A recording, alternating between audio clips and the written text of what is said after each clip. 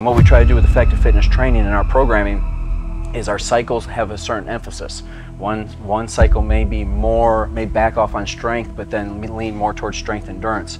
We might dial up on agility and speed and dial back on cardiovascular endurance. But we do it in a way that over time, over the course of approximately two years, you train everything equally and it's a perfectly balanced program over time. You're constantly seeing progress in some attributes while some we're just working on maintenance. That's the trick to it. I mean, it's easy to say, yeah, we have to train all these things, but the hard part is balancing it all out so that you're training everything and everything's improving over time. We're getting enough stimulus, enough volume of work to see that progress.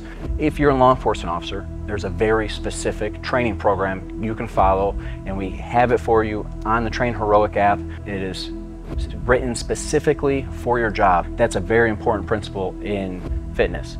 Your training has to be specific to your goals. All right, and if your goal is to be the most effective law enforcement officer you can be, then Effective Fitness Training Program is going to be the program for you. I don't mean this to be a big sales pitch. I'm just saying that this the programming is meant to train you to be the most effective cop you can be.